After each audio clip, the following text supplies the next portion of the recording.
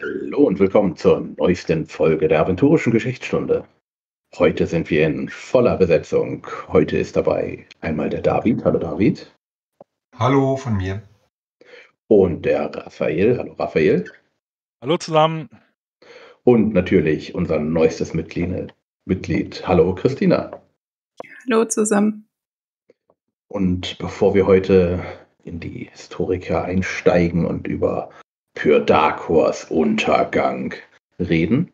Ähm, ich glaube, am Wochenende äh, passiert etwas. Ich fürchte, mein Release könnte direkt auf das Event fallen oder kurz danach. Was ist denn geplant hier? Was ist denn da los? Und was macht ihr? Es ist äh, nicht irgendwas, sondern es ist Redcon. Die, früher war es mal die Ulysses Housecon, mittlerweile glaube ich nicht mehr. Aber nichtsdestotrotz äh, sind da zahlreiche Ulysses-Leute Autoren, Autorinnen und was sich noch so herumtreibt. Und ich werde zumindest einen Abend da sein und freue mich schon drauf. Genau, und man kann so die ganze Bandbreite von DSA erleben. Es werden Vertreter da sein von dem Briefspiel, von dem Adelsspiel und Vertreter vom DSA Live-Rollenspiel. Es werden Künstler auch da sein und Leute, die sonst kreativ Merchandising für das schwarze Auge herstellen. Das heißt, man hat die Möglichkeit, an einem Wochenende und an einem Ort so alles zu treffen, was irgendwie rund um das Thema DSA wichtig ist. Und zuverlässig viel Geld ausgeben dabei. Auf jeden Fall. Ja, man braucht ja auch die neuesten Sachen. Das ist man ja up, äh, nicht mehr up to date. Ja, der KAK ist immer noch äh, verschollen. Haben wir schon mal gesprochen. Äh, der, dessen Name mir entfallen ist, äh, das Alternativ-Event nächstes Jahr. Der Prinz Brin Konvent. Genau, der Prinz Brin Konvent. Äh, hier nochmal, äh, es gibt leider nichts Neues. Keine weiteren Plätze haben sich aufgetan, keiner hat abgesagt. Ich klage an. Aber irgendwas ist immer. Ja, ähm, ihr beide schreibt im Moment gar nichts. Also ihr habt mir gesagt, ihr habt jetzt noch an nichts geschrieben. Äh, David hat an den Hexensymphen noch mitgearbeitet, aber sie sind jetzt beide in der äh, frohen Erwartung, endlich wieder was zu bekommen. Und etwas Neues, was kommt, ist auch äh, das Reich der Chemie. Um jetzt gleich mal in die Aventurika einzusteigen. Was ist denn da los? Was ist die Chemie? Wer sind die Chemie? Wo sind die Chemie? Was machen die? Ja, die Chemie sind ja ein, ähm, also das Chemiereich, das Chemievolk ist ja sind ja durchaus äh, alte, neue Bekannte. Wir kennen sie auch aus dem gegenwärtigen Aventurien. Aber jetzt in der Zeit, in der wir uns gerade befinden, so um das Jahr 3000 vor Bosbarans Fall, sind die Chemi die erste große menschliche Hochkultur, die sich bildet. Und zwar ganz im Süden des Kontinents, auf der Trahelischen Halbinsel. Da ähm, gibt es jemanden namens Kacha, der verschiedene Waldmenschenstämme vereint zu einem zu einer größeren Macht, zu einem Reich, das dann ähm, ja beginnt, ähm, so erstmals richtige Strukturen aufzubauen und ähm, auch einen, ja, eine Königsherrschaft etabliert. Und das ist tatsächlich, wenn man von den ähm, Sumurern einmal absieht, das erste Mal, dass, ähm, ja, dass die Menschen sichtbar werden auf dem aventurischen Kontinent, abseits von kleineren Stämmen und Siedlungen. Und die Chemi kommen nicht aus dem Nichts. Viele von ihnen sind eben ja, Stämme des Urwalds und andere sind ähm, ehemalige Sklaven der Echsenvölker, die auch dort in der Gegend siedeln. Und dadurch übernehmen die Chemi zu Anfang auch viel an ja, Fortschritt, an Wissenschaft und Kultur von den Echsen, zum Beispiel im Bereich der Schrift, aber auch ähm, bei der, ja, bei religiösen Sitten, bei der Verehrung von Göttern und ja, allgemein bei Baustilen, die Chemie kennt man ja heute noch die, die Pyramidenbauten der Chemie und auch bei ja, sonstigen Gebräuchen und Abläufen. Und tatsächlich ähm, hat dieses Reich der Chemie für fast 1000 Jahre Bestand, bis ungefähr 2000 vor Bosporans Fall. Es wächst und gedeiht und ähm, wächst auch dadurch, dass es die umliegenden Stämme vereinnahmt und unterwirft und kommt dann am Ende zu Fall dadurch, dass ähm, ja die benachbarten exischen Reiche wieder im Kampf sind und ähm, dadurch gerät es unter die Räder und gleichzeitig ähm, sieht sich dann auch, als es schon geschwächt ist, damit konfrontiert, dass eben die versklavten ähm, Stämme sich erheben und so bricht dieses erste Chemiereich nach fast 1000 Jahre Bestehen wieder in sich zusammen. 1000 Jahre ist ja auch schon mal eine gute Zeit.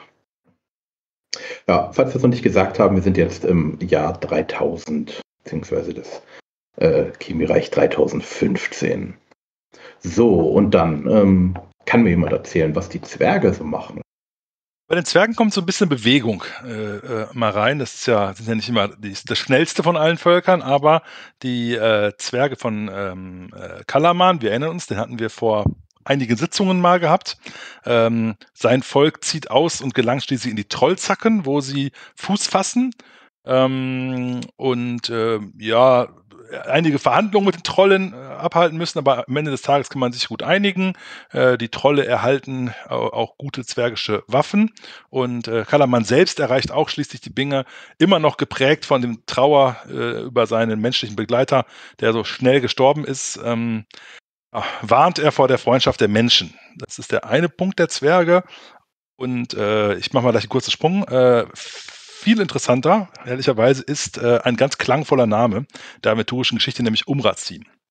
Äh, Umrazim ist, finde ich, super klangvoll, weil es eine der ersten DSA-Kontakte ist, die ich irgendwie hatte. Boah, Umrazim, das ist doch der, der Zwergenhort, wo man noch ohne Ende äh, Gold und sonst was finden kann. Und kleiner Spoiler, wir haben gute Chancen, ähm, äh, hoffe ich mal zumindest, dass die anstehende Zwergenkampagne uns einiges mehr über Umrazim äh, enthüllen wird. Denn die Stadt ist ungefähr 2800 gegründet worden, also die Binge, eine riesenreiche Zwergenbinge, äh, tief im Land der Orks ähm, und wurde demzufolge auch immer wieder von Orks belagert, die nicht so glücklich waren, dass da Zwerge drin waren und ihren ganzen Reichtum aufgebaut haben.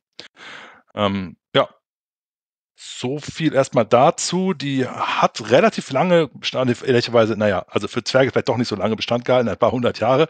Ähm, äh, ähm, und man hat dort auch einen sehr, sehr wertvollen Edelstein ähm, oder eine, äh, was mal Edelstein, David, du kannst mich da korrigieren gerne, ähm, eine Linse gefunden, ähm, die, ja, der größte Schatz ist. Irgendwie erinnert mich, oder nicht nur mich, das viele wahrscheinlich an einige Geschichten aus dem Herr der Ringe, wo man da mit, mit Moria oder vielleicht auch äh, die, die, die Hobbits äh, um Thorin Eichenschild, das findet man irgendwie so ein bisschen in Umrazim wieder, das dann auch von vielen Orks später besiegt werden kann. Ähm, dadurch, dass die zahlreichen Orks, die in Umrazim selber gearbeitet haben, sich irgendwann einen Aufstand machen, unterstützt von weiteren Orks und dann alle Zwerge töten, sodass nur einige wenige fliehen können.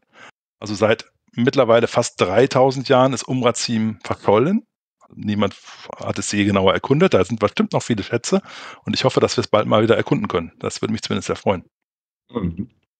Es ist übrigens ein Smaragd aus äh, Ordamons Krone, der da umgeschliffen wurde zur Linse. Gut, ähm, dann kommen wir doch mal zu einem anderen Geschöpf, einem Greif namens Oberan. Christina, kannst du mir was über den erzählen? Ähm, naja, ich weiß, dass er von ähm, Praios gemacht oder gesandt wurde und ähm, dass er auf einigen Inseln ähm, an der Nordküste von Otiuria gewohnt hat, glaube ich mal. Und ähm, ja, dort unter den Menschen gelebt hat und versucht hat, Praios seine Gesetze ähm, umzusetzen oder den Menschen dort näher zu bringen.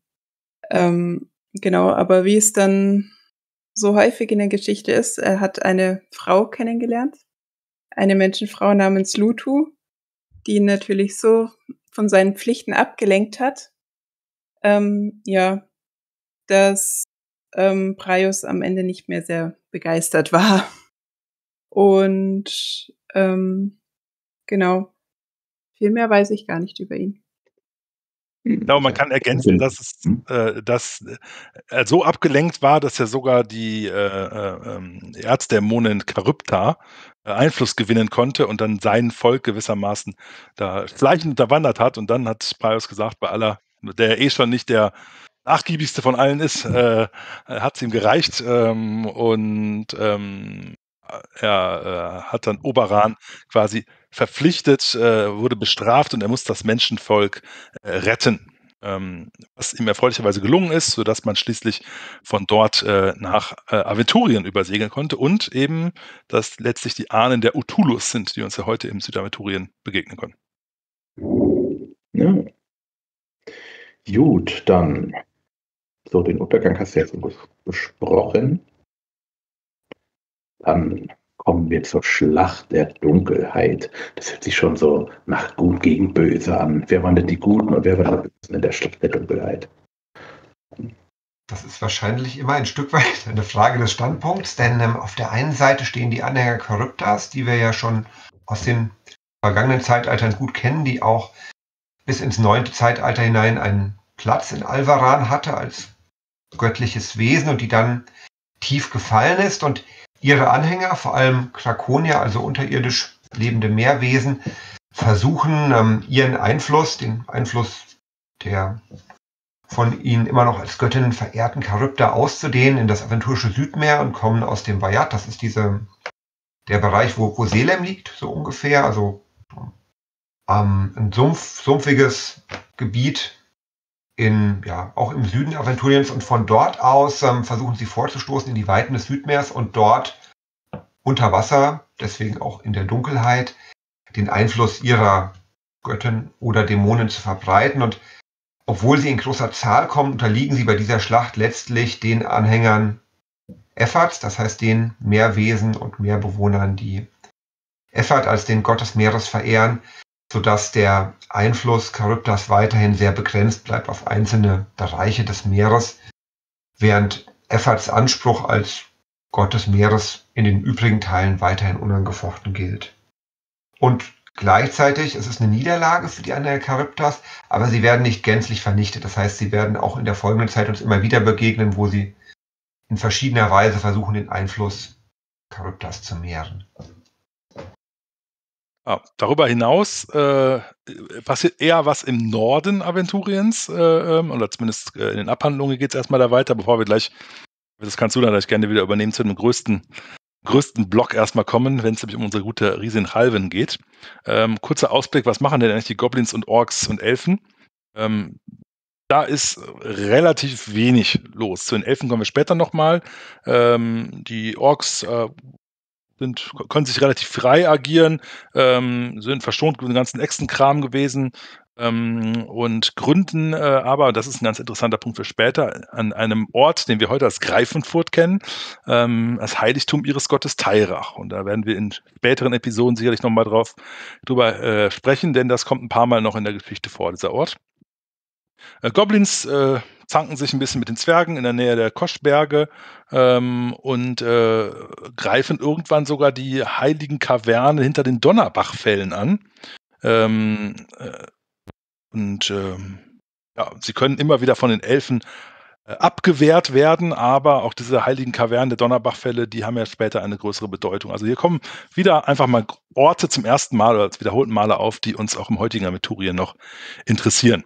Ähm, Genau, und dann wird's Südaventurien aber nochmal jetzt wild hin und her. Ja, du spielst sicher auf ähm, das an, was mit Calvin passiert, nämlich ähm, unsere, ein Stück weit ja unsere Erzählerin der Historia bis hierhin, die ähm, gerade in den früheren Zeitaltern, als es noch keine exischen, menschlichen, elfischen oder zwergischen Aufzeichnungen gab über das, was geschehen ist, so ein bisschen unsere Quelle ist für die Ereignisse. Und Calvin hat ähm, ja bereits Rückschläge hinnehmen müssen, nachdem ihr Volk, die zu Murra besiegt wurden von Echsen im Dienste Pyrdakors. Und dennoch genießt sie weiterhin als weises Orakel ein Ansehen bei vielen der kurzlebigeren Völker. Und sie versucht auch weiterhin das zu nutzen, um ihre Sicht der Dinge weiterzugeben und zum Beispiel die Elfen zu warnen vor falschen Einflüssen und vor Fehlentwicklungen, die sie sieht. Und ähm, sie stößt nicht überall auf offene Ohren, an manchen Stellen aber doch. Und dadurch, dass sie auch die Elfen beispielsweise vor den Schlichen und Listen Pyrdakors warnt, erweckt sie den Zorn des mächtigen Drachen.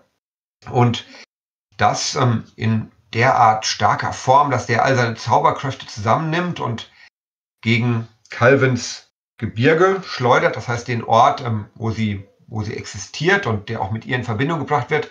Und dieser Zauber, das heißt, es ist so mächtig, dass ähm, er ein gewaltiges Erdbeben und eine Flutwelle auslöst und das Gebirge komplett in den Tiefen des Meeres versinkt. Und das ist insofern spannend, auch geografisch, weil ähm, beschrieben wird, dass ähm, der Landzug, der dann verschwunden ist, eigentlich eine Landbrücke darstellt zwischen dem, was in der Gegenwart das aventurische Festland ist, und der Insel Maraskan. Dass es also demnach früher mal eine Verbindung gab zwischen diesen beiden Landteilen und der erst ähm, jetzt im, in diesem Zeitalter zerstört wurde. Und dadurch, dass Calvin ihre Existenz selbst so stark in dieses Gebirge gebunden hat, wird auch sie mit hinabgerissen in die Tiefen und ja, fristet, so heißt es, fort an ihre Existenz am Grund des Meeres. Ich finde es ja interessant, dass sie da im Gegensatz zu ihrem Kind äh, einfach da auf dem Meeresboden überlebt. Theoretisch, möglicherweise eventuell, sofern wir wissen. Im Moment. Es gibt ein äh, Abenteuer, ne, so 15 Jahre alt vielleicht, wo man mal ein bisschen was in Halvins Thron erleben kann, aber es ist nicht aus meiner Sicht so, dass sie da unten äh, quasi Wasser atmet und nur darauf wartet, dass Helden vorbeikommen. Aber mal gucken, was die Zukunft bringen wird. Ne? Ja. Gut, äh, ich hatte eben leider Internetprobleme. Äh, hat man äh, meinen Vortrag über den Z Krieg zwischen den Zwergen und Goblins gehört? Nein, haben wir nicht, aber ich habe das äh, kurz abgehandelt.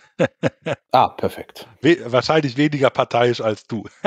was? Parteiisch? Icke? Ich weiß ja nicht, was du meinst. was auf jeden Fall noch äh, interessant ist, äh, kurz, es gibt Nachtalben in Myranor. Ähm, und die sind dort, ja, es kommt zu heftigen Kriegen, heißt es dann nur so als Nebensatz. Aber jetzt kommen wir zum Alagrim. Also Pyrdakor, der Böse, hat, äh, ja, hat es geschafft, durch seine Intrigen die Zwergen zu zersplittern. Aber er ist immer noch unglücklich und dieser Macht. Und nun, ja, kommt der Namenlose mal wieder, der Goldene, und gibt ihm eine Möglichkeit. Und zwar mit Hilfe eines Artefakts aus einem sehr alten Tagen erschafft Pyrdakor eine Kreatur aus reinem Feuer, gestaltet wie ein riesenhafter Adler. Und dieses Wesen, der Alge, Alagrim, fällt in den nächsten Jahrzehnten immer wieder über Angroschim her. Doch Zwerge sind keine Zwerge und sie schaffen es natürlich mit vereinten Kräften von Geoden und Angrosch-Priestern 2302 ihn zu besiegen. Naja, nicht ganz zu vernichten, aber sie können ihn in eine feuchte Grotte tief unter den Hallen von Koshim verbannen. Ja, und dann kommt nun der zweite Drachenkrieg und Pyrdakors Ende. Wer äh, kann mir denn dazu was erzählen? Ah, äh, Pyrdakor macht irgendwie so ein bisschen den Kardinalfehler gefühlt, den immer wieder Leute in der späteren Geschichte zu machen scheinen. Äh, äh, als er sich zu sicher seiner Sache ist ruft er sich zum alleinigen Gott aus dem Jahr 2303. Wir haben ein paar Mal, dass sich auch Menschen zu Göttern ausrufen und immer geht es dann schief danach, aber irgendwie, vielleicht ist auch Pödakor der Erste, der das tut, ich weiß es nicht genau. Äh, irgendwie kann das nicht funktionieren, denn ehrlicherweise Anna macht das nicht sonderlich glücklich und dann steht es ja schon mal mindestens 12 zu 1 wieder. Und das kann auch für, für Pördakor nicht gut ausgehen, wobei er sich gut behaupten kann. Denn hier, hier sieht man tatsächlich, dass er ja schon eine gewisse Macht hat. Also er ist, er ist ja nicht nur irgendwie ein Drache, ähm, denn die Götter sagen, ja, ist klar, das gefällt uns nicht. Äh, dem müssen wir mal zeigen, wo es lang geht. Entsenden äh, äh Farmelor als ihren äh, Boten, um Pördakor zum Einlenken zu bringen. Ähm, doch Pördakor lacht nur kurz es gelingt ihm Farmelor zu überraschen und in Ketten zu schlagen. Ähm, also bis hierhin Götterchor 1, Götter 0. Äh, allerdings lassen sie das nicht auf sich sitzen und sagen, okay, jetzt erst recht. Ähm, und äh, sie entscheiden sich gewissermaßen, äh, einige Alveran-Jahre zu entsenden, ähm, um Farmelor zu befreien und die Pyrdakor vernichten sollen. Und das hat äh, der Drache nicht vorhergesehen und fühlt sich jetzt plötzlich in der Defensive sodass der zweite Drachenkrieg entsteht, der auch für noch einmal Aventurien komplett ähm, ja, auf den Kopf stellen soll im Wesentlichen. Ne? Also das hatten wir ja vorhin, ich glaube, die Chemie hattest du vorhin genannt. Das ist ja auch ein Reich, was da jetzt komplett untergeht im Folge dieses Drachenkrieges. Ähm, Städte, Reiche werden zerstört. Ähm, zahlreiche Orte, ähm, die schwimmenden Gärten von Yakualai werden aus der Verankerung gerissen. Ähm, die Zyklopeninseln waren offenbar einmal viel größer als heute, denn Pyrdakor sagt den Zyklopen, ich brauche mal dringend Waffen von euch. Die widersetzen sich aber und daraufhin äh, lässt er ein weiteres Erdbeben entstehen, ähm, wie er es eigentlich schon wie bei Chalven gemacht hat, und äh, dass die Hälfte der Zyklopeninseln im Meer versinkt.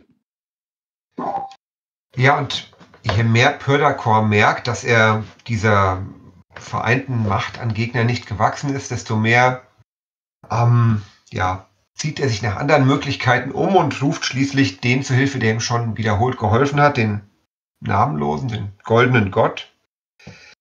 Und ähm, der lässt sich nicht lange bitten und entsendet tatsächlich ja seine Heerscharen. Und das sind die Völker, die sich in der Vergangenheit schon dem Namenlosen angedient haben oder sich teilweise ihm angedient haben, einzelne oder, oder Gruppen aus den Völkern. Und ähm, es kommen Oger und Trolle, aber auch Zwergen und Menschen und die erschaffenen Nachtalben, größtenteils von jenseits des Ehernen Schwerters, das heißt ähm, weit östlich des aventurischen Kontinents und fallen ein. Und ähm, ja, neben diesen auch noch weitere Kreaturen, Dämonen und auch Riesen. Und ähm, ja, das sorgt eben dafür, wie, wie Raphael schon gesagt hat, dass diese Verheerungen immer größer werden und auch immer mehr Schaden anrichten, auch bei Unbeteiligten.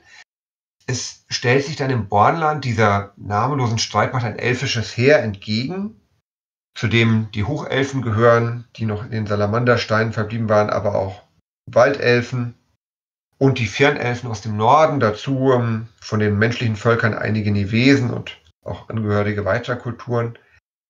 Die Historiker schreiben von Waldschraten, Katzenmenschen, fliegenden Katzen, Satyaren, Zentauren und dergleichen mehr. Das war ein, ein, ein großes, eine große bunte Schlacht der vielen Völker.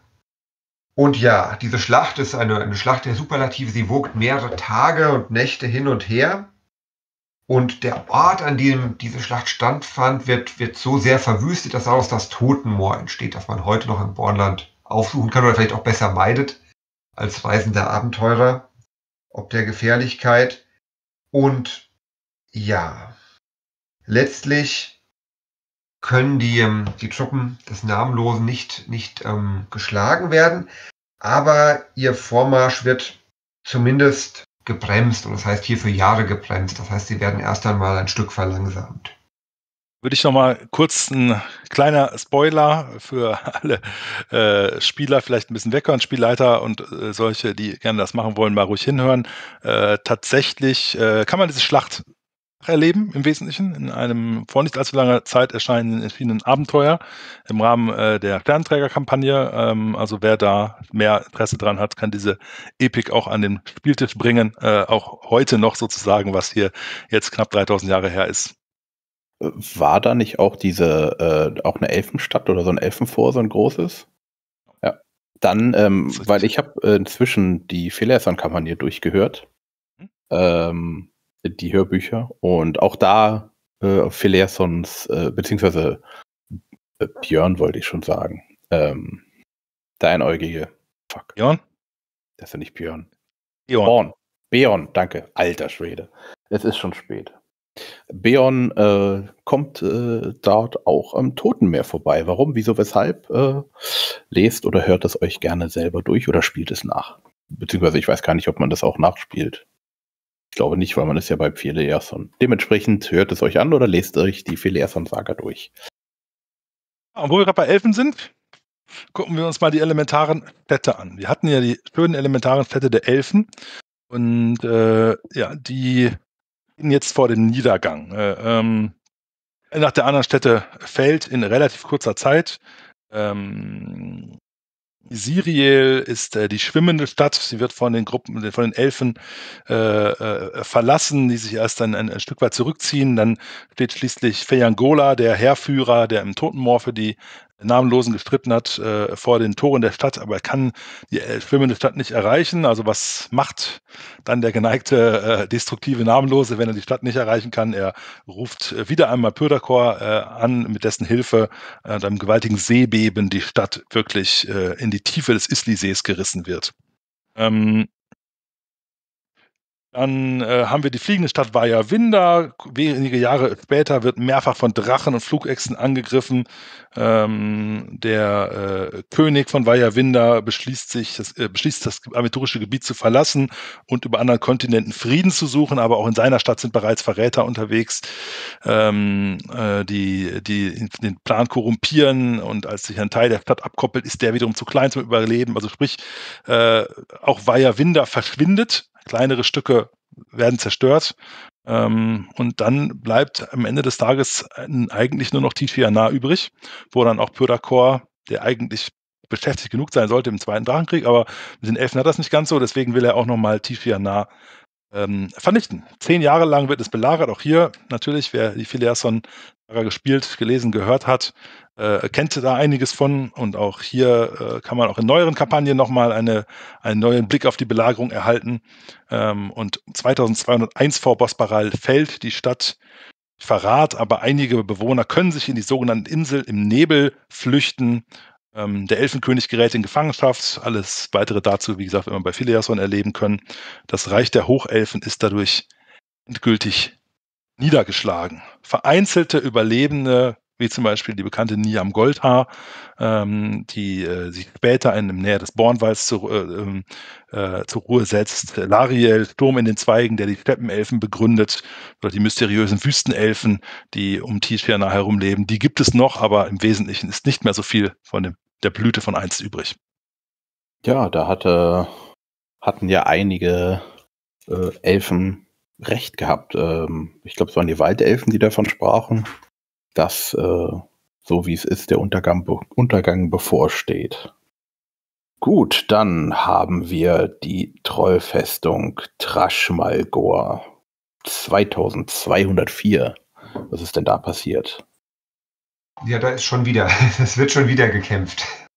Auch in Traschmalgor ist es, gibt es keinen Frieden. Die Festung wird angegriffen, gleich von mehreren Drachen.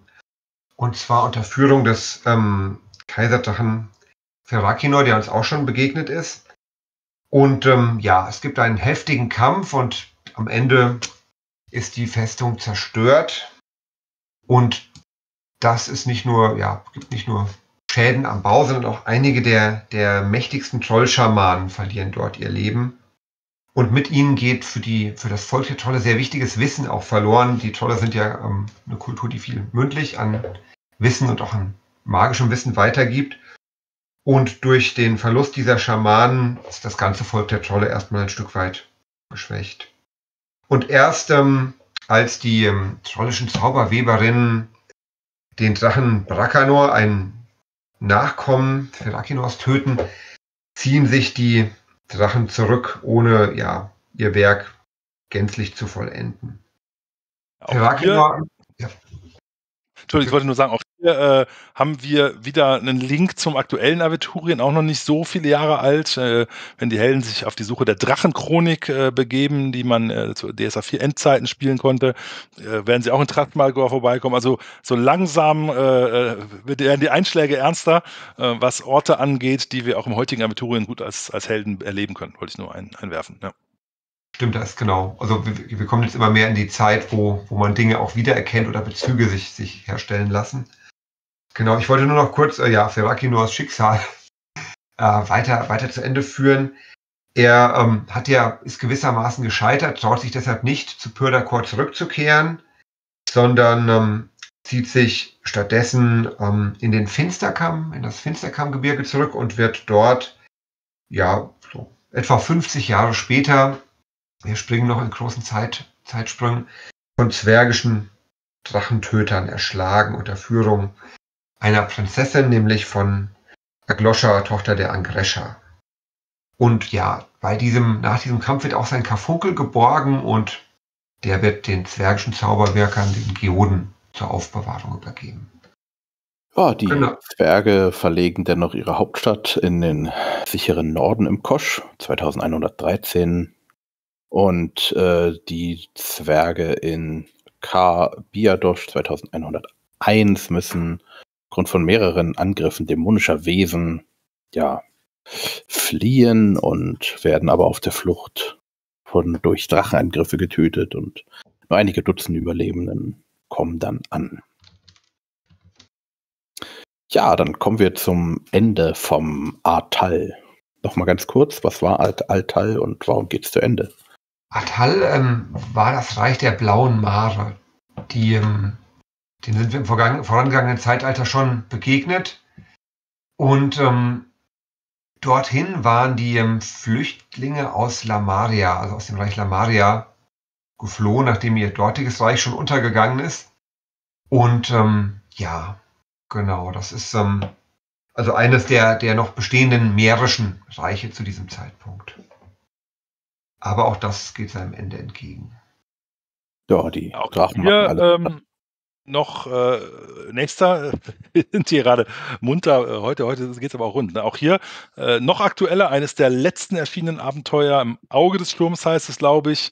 Ähm, ne, da geht es auch unter, äh, hat auch was mit diesem Herz des Sturms auf Atal äh, am Ende des Tages zu tun. Also wir sehen hier schon äh, das äh, immer wieder beeindruckend, wie weit die Geschichte Aventuriens schon reicht, teilweise äh, zurück, äh, also gerettkonnt wurde, aber wiederum, wenn ich jetzt nach das aktuelle Abenteuer Auge des Sturms denke, das ist ja deutlich nach der Historia erschienen, also da greift man auch alte Fäden wieder auf, also nur alle Spielleiterinnen und Spielleiter einladen, sich da ein bisschen durchzuwühlen. Hier gibt es jede Menge tollen Content, den man weiterverwenden kann, über den wir hier in den nächsten Folgen immer mehr berichten werden. Das stimmt. Und jetzt äh, macht ein treuer Anhänger Pyrdakos, denkt sich, er kann äh, seinem Herrn noch helfen. Äh, Christina, was ist denn da los?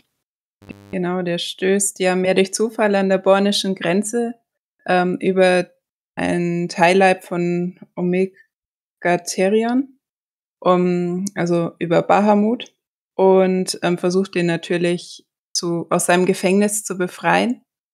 Und ähm, ja, er hofft sich dafür Hilfe für seinen Herrn. Allerdings kriegt ähm, Effert das Spitz und versucht das mit ähm, einer gewaltigen Schar von Walen zu verhindern. Und ähm, am Ende schafft das auch, das Befreiungsritual zu verhindern. Aber es hat sich trotzdem in Bahamuts Gefängnis so ein kleines Fenster geöffnet, was sich so, ich würde mal sagen, wie ein Strudel ähm, offenbart. Und ähm, genau, und das bleibt auch bestehen. Und viele Völker spüren immer wieder in der nächsten Zeit dann quasi ja, Bahamuts Kräfte durch diesen Strudel und ordnen es aber ihrer jeweiligen Meeresgottheit zu und ähm, opfern dort an der Stelle dann natürlich jede Menge Dinge. Also können wir sagen, dass äh, Omegatherion sehr viel Tante jetzt hat in seinem Gefängnis.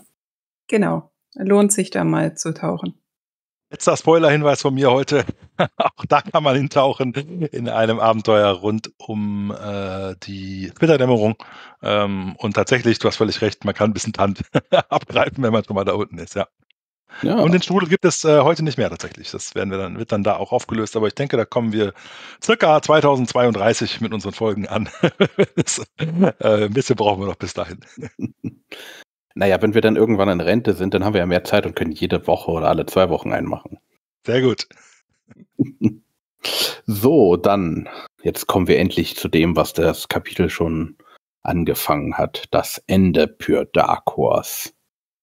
Der böse Zwergentod bekommt endlich und das, das- was er verdient.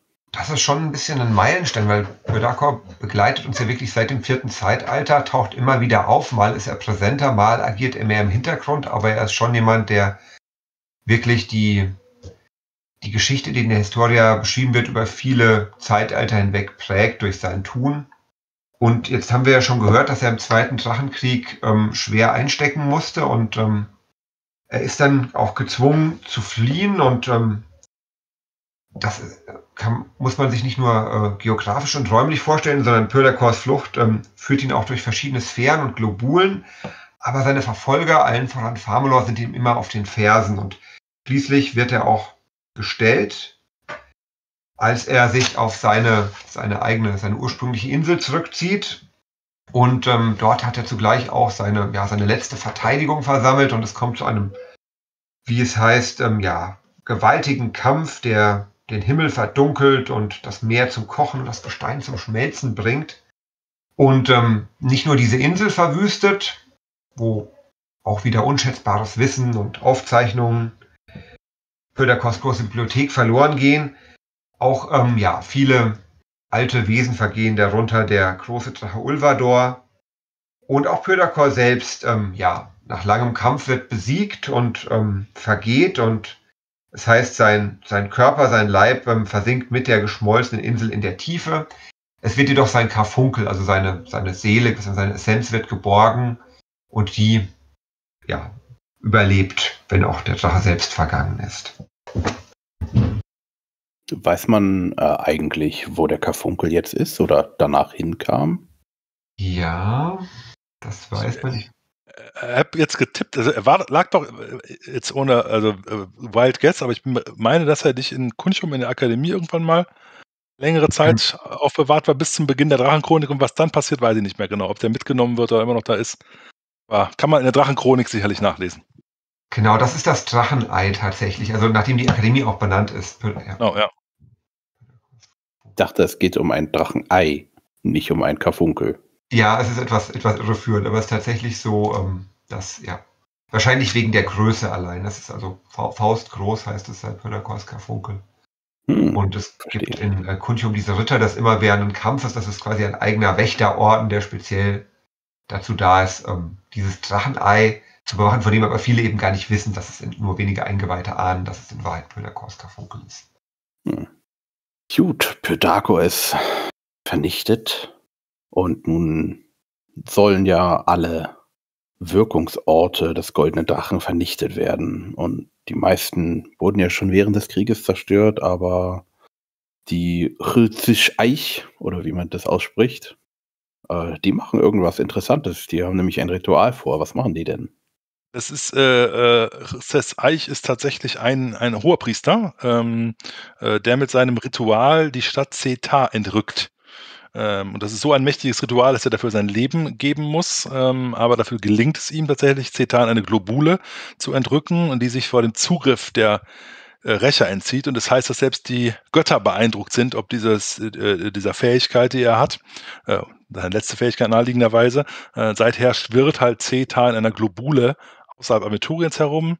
Nicht betroffen, einzig allein Tishvianar, weil es eben so äh, eine Erzmacht hatte und ansonsten bleibt da die Wüste Kom übrig, wie wir sie heute kennen, da wo sonst Cetar stand. Was ich total äh, bei mir immer so hängen bleibt, ich weiß, meine DSA-Anfangszeit ist äh, DSA 3 gewesen. Da gab es die, diesen Codex Cantiones, wo alle Zaubersprüche drin waren. Da gab es die sieben Formeln der Zeit, das Ritual des Kirzes Eich. Aber wie geil ist das denn? Äh, wer kann denn sowas wohl machen? Ja, offenbar nicht Spielerhelden, sondern nur äh, mächtige Hohepriester, halb unsterbliche Echsen, Oberkultisten konnten dieses äh, Ritual durchwirken, um einen ganzen Landstrich in eine Globule zu überführen. Ja. Ah ja, Gut, und dann kommen wir zum ehernen Schwert. So wie wir es heute kennen, war es damals ja nicht. Wir haben ja gesehen, die Horden des Goldenen sind da ja einfach, ja, rübergelaufen. Also kann das Gebirge nicht sonderlich hoch gewesen sein. Nun ist die Frage, die Götter sagen ja, ah, es wäre nicht so gut, wenn die da einfach ständig rüberkommen. Was machen sie denn? Ja, sie nutzen das, das Gebirge, was ja schon als natürliche Barriere vorhanden ist und lassen das aber in die Höhe wachsen. Das heißt, es wird auch ein Stück weit ähm, ja, zusammengeschoben, also quasi in der Breite gestaucht, um es weiter in die Höhe wachsen zu lassen. Und ähm, sie nutzen dazu unter anderem den Elementarherrn des Erzes, der den, den Erzschlüssel, also den, ja, einen der elementaren Schlüssel, in dem Fall den des Erzes, entleiht, um das möglich zu machen, dieses, diese mächtige Veränderung. Und äh, ja, dadurch wird, wird das eher ein Schwert eben zu dem, was es, was es in der aventurischen Gegenwart ist, dem, dem höchsten Gebirge des Kontinents und praktisch ja, un, unüberwindlich auf seiner Höhe. Ich weiß nicht, ob wir so mal dazu gekommen, ob wir vielleicht noch dazu kommen, aber was ist denn da eigentlich, also dahinter? Ja, eher ein Schwert. Ja. Oder was? Dahinter liegt das Riesland äh, an der Stelle, ein weiterer Kontinent wie ähm, Uturia, wie das Güldenland, Myranor, das Riesland ein Kontinent im Nordosten liegt, der aber nicht weiter betrieben ist. Also es gibt ein paar Fanprojekte, die sich darum kümmern gewissermaßen, aber da könnte man sich austoben, wenn man möchte. Ja. Ah, okay. Also wir gehen da, also ich gehe davon aus, es ist einfach vom goldenen besetztes Anhängern besetztes Land. Armlosen, ja, genau. Mhm. Dass der goldene ist und nicht Pöderkor, ich weiß nicht, wen du jetzt meinst. Ne, der goldene Drache ist Pyrator, äh, Pyrakor mhm. und der goldene ist ja dann der Namenlose, wie er hier immer benannt wurde. Deswegen bin ich jetzt irgendwie beim Goldenen hängen geblieben. Ja, äh, dann haben wir noch eine kurze Info aus dem Güldenland. Auch dort äh, äh, gibt es einen Krieg. Äh, die Zeit wird als Drachenzeit genannt. Ja, und hier werden auch ganze Völker ausgerottet. Und ja, es gibt dort einen, auch einen Fluch, der alle, äh, der von Person zu Person weitergegeben wird, die bei allen Trägern des Eamyr zu einem dahinsichen und schließlich elenden Todes führt. Wenn ich mich recht entsinne, das ist auch die mit dem dritten Auge, oder? Ja. Genau, das sind die, die als, die als von Marda erleuchtet gelten und die besonders große magische Kräfte besitzen und die in Myranor ähm, die Angehörigen der Optimatenfamilien, also der Herrscherfamilien stellen, der großen Häuser, die auch ja, den, ja, also die, die Lenker, die Lenker des Geschicks, der Geschicke eigentlich im Imperium. Mhm. Von denen es ja eben auch in, in der Gegenwart nicht mehr so viele gibt. Wahrscheinlich ist das mit ein Grund, diese Seuche, die gezielt diese, diese Führungsschicht befallen hat. Ja. Gut, dann haben wir es soweit geschafft. Das nächste Mal kommt das Karma Corteon aber eine Frage, Pyrdako ist tot. Was ist denn mit seinem Schatz, mit seinem Goldhort, was er alles gesammelt hat? Der größte Teil natürlich ist in Zeta und sonst wo gewesen oder der großen Insel, die David beschrieb, die untergegangen ist. Aber er hatte noch einen Hort im Regengebirge, auf den du vermutlich anspielst, eine gut versteckte Höhle. Ähm, und die wird natürlich auch zum Großteil geplündert von den Ziegern, wie das so ist. Allerdings heißt es, dass ein Teil der Höhle dabei einstürzt und so, dass es gut sein kann, dass irgendwo tief im Regengebirge noch äh, unter dem herabgestürzten Gestein alte Fetze liegen. Aber wo genau, das wissen nur einige wenige Drachen und aus Respekt vor Pyrdakor verraten sie das. Zumindest nicht an jeden herbeigelaufenen Abenteuer. Hm, okay, dann würde ich sagen, zieht hinaus, befragt die Drachen und wenn sie euch nicht helfen, dann wissen wir ja, ihnen es eh nicht zu trauen. Gut. Immer diese Zwerge für Sicht auf die armen Drachen. Jetzt ist die Frage an euch drei. Haben wir noch irgendwas vergessen? Möchtet ihr noch irgendetwas ergänzen? Nee, also mit Blick nach vorne nur, dass nach dem Kammer Corteon äh, geht es dann tatsächlich mit den Menschen weiter. Und dann äh, kommen noch mehr hoffentlich vertraute Sachen für alle unsere Zuhörenden. Wir nähern uns Schritt für Schritt ja, der aventurischen Gegenwart. Und wir haben ja heute schon gemerkt, ne, es gab viele Bezüge, auf die Raphael auch hingewiesen hat, wo ähm, einfach auch Ereignisse oder ähm, Artefakte oder Figuren in Abenteuern aufgegriffen wurden und das wird sich sicher noch verstärken in nächster Zeit, wenn wir je weiter wir voranschreiten im elften Zeitalter dann. Ja. Es ist spannend, es wird spannend und das bleibt spannend. Gut, dann danke ich euch schon mal. Ähm, wir haben noch eine Idee, wie wir unser Format noch etwas äh, aufpeppen und erweitern. Da schauen wir mal, dass wir das nächste Woche hinkriegen. Lasst euch überraschen. Und ich Euch würde sagen, all unsere zahlreichen Follower bei Patreon, die du hast, äh, ja, genau. Auch, äh, die können sicherlich auch mal Vorschläge äh, einbringen, wenn wir das Format eingeführt haben, welches Thema wir nehmen sollten. Ähm, die werden dann vielleicht sogar gehört. Ja, das auf jeden Fall. Mit, kann man sagen, mit Priorität? Wahrscheinlich nicht, aber sie kommen auf jeden Fall, werden auf jeden Fall gehört. Das heißt, äh, folgt, unterstützt uns da gerne. Die äh, Serverkosten und alles zu tragen. Danke auf jeden Fall für die, die uns da schon unterstützen. Und euch drei danke ich für die Zeit, für die Expertise, die ihr mitgebracht habt. Und ich freue mich aufs nächste Mal. Und euch da draußen wünschen wir einen schönen Tag, schönen Abend, Mahlzeit und bis zum nächsten Mal. Ciao. Dann. Bis zum nächsten Mal. Danke fürs Zuhören. Bis bald.